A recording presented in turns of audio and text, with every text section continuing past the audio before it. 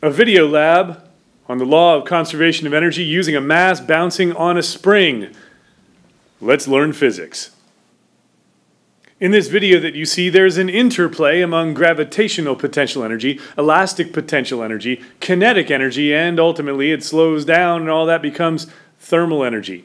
These are the equations, mgh 1 half mv squared and 1 half kx squared. And we know that the net energy at the beginning is equal to the same value as the net energy at the end, or the total energy remains constant. And that's what we're going to focus on here. Remembering those equations, well, we need the, the spring constant for that spring first before we do anything else. So using Hooke's law, F is equal to kx. Let's do that. In order to find the spring constant, the k in that equation, we'll find the difference in displacement, the difference in lengths of the spring, and the difference in the force. So I'm showing, showing two of those. That is one force value and one length value of the spring.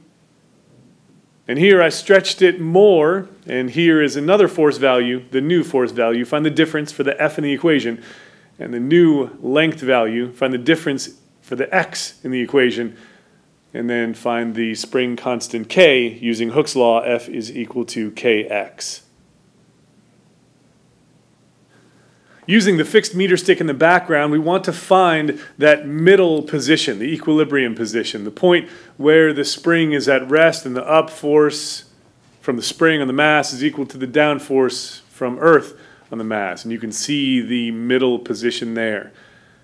We also need the top and the bottom while this thing is moving. So the top, middle, bottom, we have the middle point already. You have read that. Record these values. And as this thing bounces up and down in slow motion, I've lined it up so you can see first the top position on that fixed meter stick in the background. See it?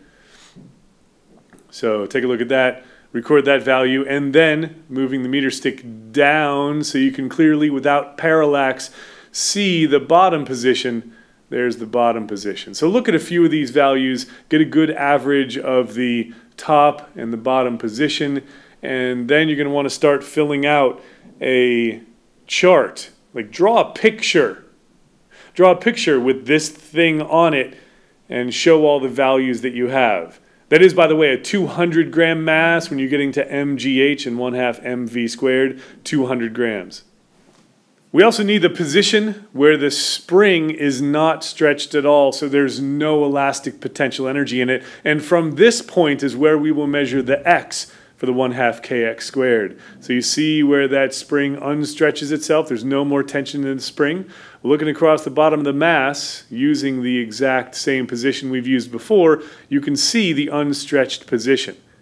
So now in a sketch that you can make, which shows a spring and everything else in it, you can show the, the top position, the middle position, the bottom position, and the unstretched position, labeling everything with the spring on it, much more complicated than what I've shown, to record your values. And now using gravitational potential energy as mgh, and kinetic energy is 1 half mv squared, and elastic potential energy is 1 half kx squared, you can fill out this chart, remembering that the total energy should be a constant value.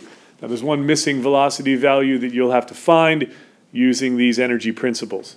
When you're done with that, you can then sketch a graph of all four energies on this single graph. Curves and lines and whatever you think is there.